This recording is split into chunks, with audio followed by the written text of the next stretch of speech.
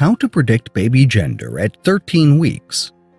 One of the most exciting things to look forward to when you are expecting is finding out the sex of your baby.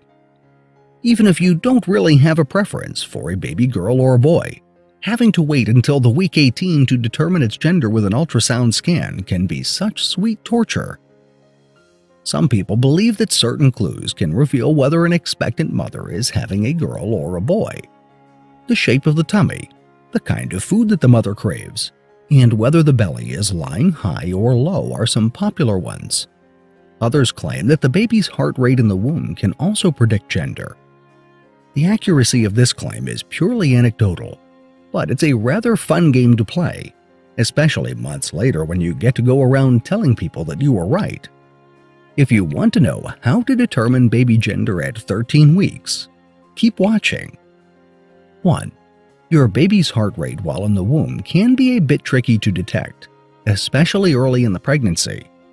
As your baby gets bigger and pushes against the walls of the uterus, the heart sounds become more audible. You do have several non-invasive options for fetal heart rate monitoring. Your doctor can determine the heart rate using a Doppler or ultrasound scan as early as 8 weeks. If the pregnancy has advanced far enough, a stethoscope held against your tummy can detect a fetal heart rate. It does, however, take some medical expertise to figure out where to place the scope and then count the actual heartbeats. There are also some iPhone and Android apps like My Baby's Beat and Fetal Beats that claim to be able to detect fetal heartbeat using your smartphone's built-in microphone. 2. The normal heart rate range for a baby in the womb is between 120 and 160 beats per minute, BPM.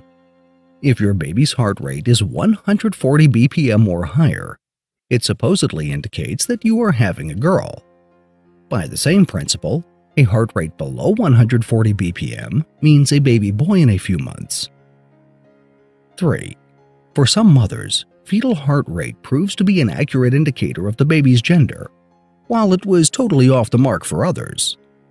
These results are hardly surprising, of course, as there is a 50 50 probability for a right and wrong prediction.